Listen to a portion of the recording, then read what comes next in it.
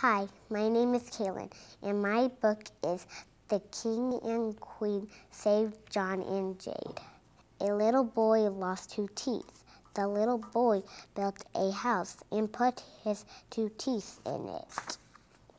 Jon and Jade, the tooth fairy, prince and princess, went to get the two teeth.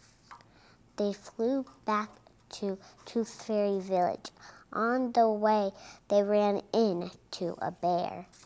The bear growled and tried to eat the two tooth fairies.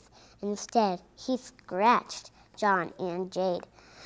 Jade dropped the tooth she was holding. The king and queen tooth fairies saved the day by helping Jon and Jade from the bear.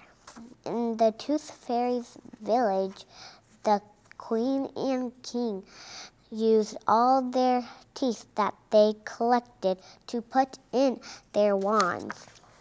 They used their magic wands to lock up the bear in its cage. Finally, the king and queen made a royal rule.